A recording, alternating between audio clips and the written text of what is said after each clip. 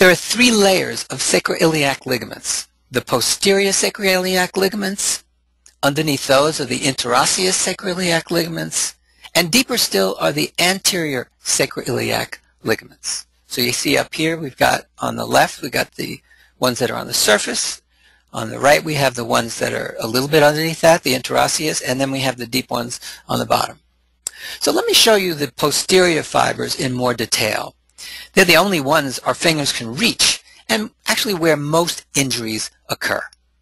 So the posterior sacroiliac ligaments are located in the deep depression between the sacrum and the ilium. So right here, let me show you, right over here, in this depression right by this PSIS. So they're located in the deep depression between the sacrum and the ilium. And they're very, very strong. They form the chief connection between the sacrum and the iliac bones. And they consist of numerous fasciculi or bundles of fibers which pass between the two bones in various directions. The upper fibers are referred to as the short posterior sacroiliac ligaments. These guys up here, right on the top here, they're kind of short, right? And they're the kind of in a horizontal direction and pass from the first and second transverse tubercles, you know, those bumps on the back of your sacrum, to the tuberosity of the ilium. Now the lower fibers are called the long posterior sacroiliac ligaments, and they travel in an oblique direction. They're attached to the third transverse tubercle or bump on the back of the sacrum, to the posterior superior spine of the ilium, also referred to as the PSIS. Now, in total, the sacroiliac ligaments consists of hundreds of thousands of fibers. Now, here's another uh, illustration. The uppermost horizontal red line over here, this one over here, is the iliolumbar ligament. Now, we're going to cover that, a really important ligament, in another webinar.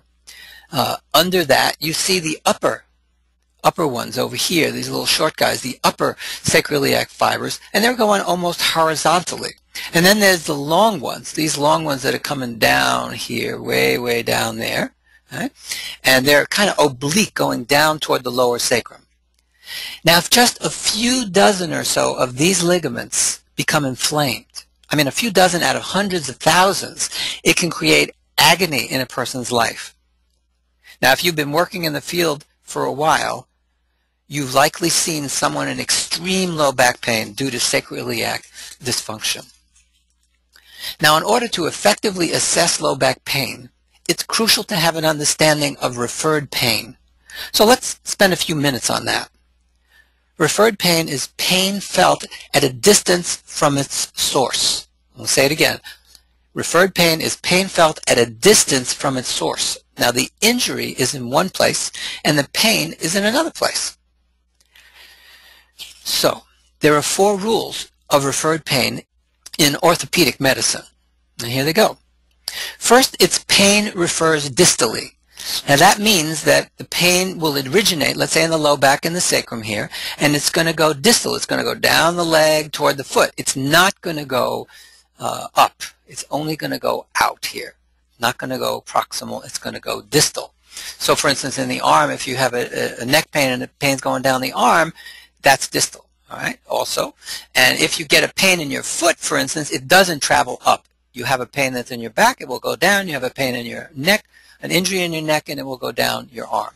So that's the first rule of referred pain, that pain refers distally when you're talking about orthopedic medicine. So now rule two is pain does not cross the midline.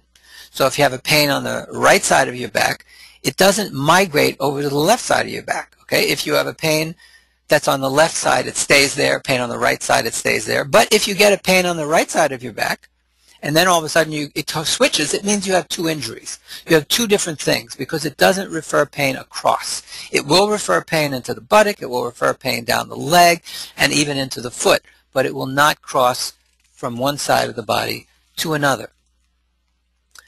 Rule number three, pain is referred within the dermatome, okay, within the dermatome. Now, dermatomes are the embryological pieces that make up our body.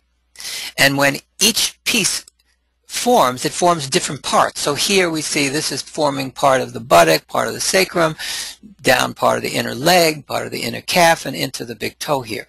So this is a particular dermatome, and these were mapped many, many years ago. And so when you get a pain, the way it's referred from a ligament or a muscle is in this dermatomal pattern. So if you know the dermatome patterns and you know where the pain's going, you can often figure out what's going on just by listening to the person.